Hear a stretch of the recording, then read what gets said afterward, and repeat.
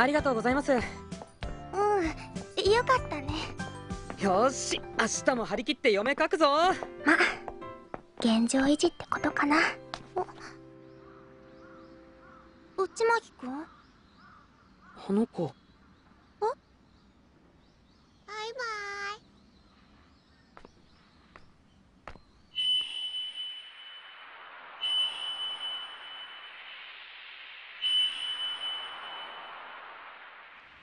かわい。いかわい？い完全に一目惚れしました。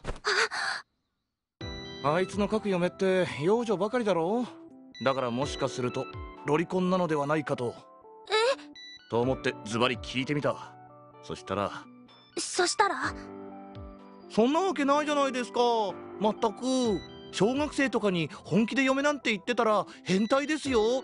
など。絵はいいのか絵はしかしああいうのは知らず知らずハマっていくという噂もある。つまり内巻きがいつの間にかロリ巻きになっていても不思議ではない。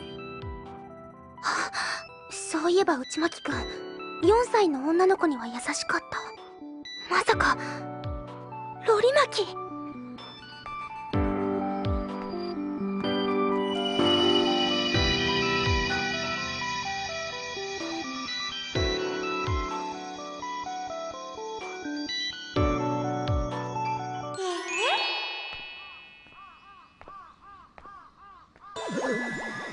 宇佐美さん今の見ました？